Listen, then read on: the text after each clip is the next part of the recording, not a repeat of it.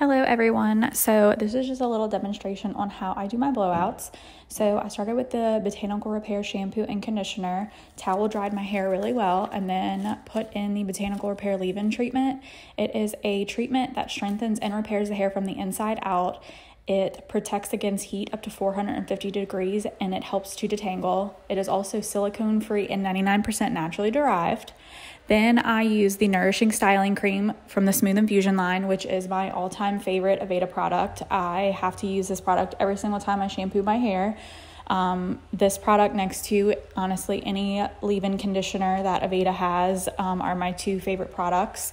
If I was stranded on an island, I would have to have my Nourishing Styling Cream. Um, but it is a conditioning styling cream that helps moisturize the hair and creates a smooth, soft hairstyle while, while fighting frizz and humidity, and it does not weigh the hair down. So then I just power dry my hair really, really well before I put a brush in it. And I'm more of a flat brush kind of girl. So I usually go through after I've gotten pretty much all the moisture out of my hair and I go through with the flat brush just to kind of really um, help smooth it down and get any leftover moisture out of the hair. So, a little fun fact I only shampoo once a week.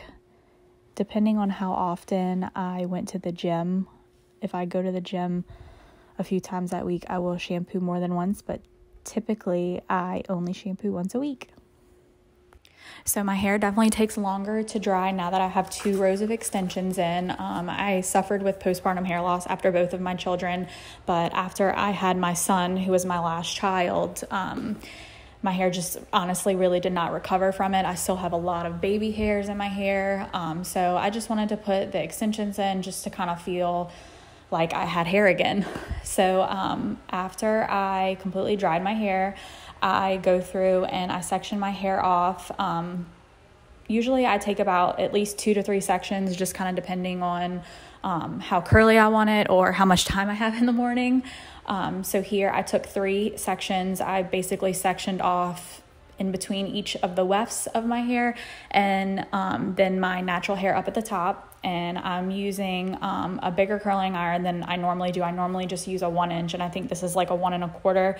But since my hair is longer now with the extensions, I like to use just a little bit bigger of a curling iron just because it kind of helps give me those looser waves. So I'm just going through and um, getting that all nice and curled.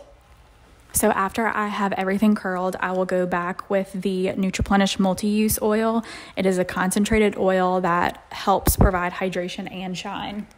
So I usually use about a half a pump to a pump of this and I usually work it through my ends first and then whenever I have a little bit left on my hands, I'll go back and work it through the top and around my face just because I do have those little baby hairs from my postpartum hair loss and it really helps moisturize them and um, kind of tame them down so they don't stick out and look kind of frizzy throughout the day. And then afterward, I like to go through and brush my hair it really helps distribute the oil and it also helps break the curls up a little bit so it gives it more of a natural lived in look. These are some of my favorite Aveda products. Um, I just love them so much and I hope y'all enjoyed the video.